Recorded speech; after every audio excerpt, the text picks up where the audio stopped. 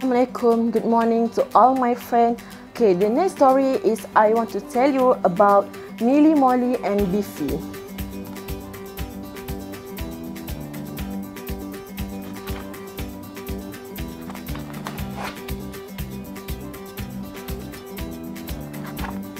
Okay, let's start. Milly and Molly are friends with everyone. All their friends are different and they all like different things. Jack has shiny black hair and he loves carrots. Meg has a lovely smile and she is crazy about apples. Harry has the whited teeth and he enjoys bananas. Sophie, Sophie has soft brown ringlets and she just loves chocolate. Tom has blue eyes and he gets excited about the blueberries. Poppy has the longest plate and strawberries are the, her favorite. George are freckled and cannot walk past an orange. Elizabeth has blonde hair and she is mad about apricot. And Humphrey well, Humphrey just liked being a bully. They made a carrot cake for Jack, apple cake for Meg, banana cake for Harry, and a chocolate sponge for Sophie. Blueberry muffin for Tom, strawberry shortcake for Poppy, and orange jelly for George and an apricot upside down cake for, for Elizabeth. They even made a gingerbread man for a Humphrey.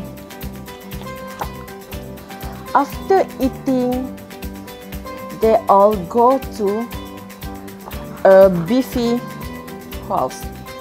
The opportunity was too much for Humphrey. He did what Humphrey liked doing best, being a bully.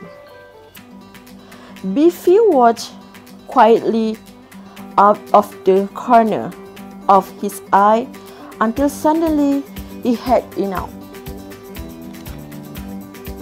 Beefy hit Humphrey with his horn, and, and Humphrey was flying far away. The next day at school, Humphrey was very quiet. In fact, he was very kindest person. From that day, he never bullied again. Instead, he was the kindest friend and his favorite thing was gingerbread. That's all for this story.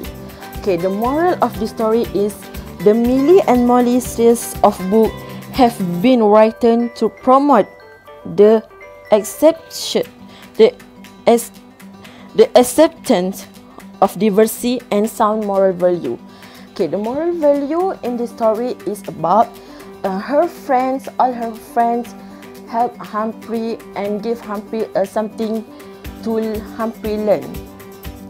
What Humphrey did is was bad because he's being a bully. So her friend helped her to be a kindness person. It was a very good and it was a very uh, very you know something like we can learn uh, the situation how to handle the situation how to solve the problem. If we face the thing like that thing like this story. It was good for young children at the age of uh, 4 to 6 years old and it was a very interesting book. Bye.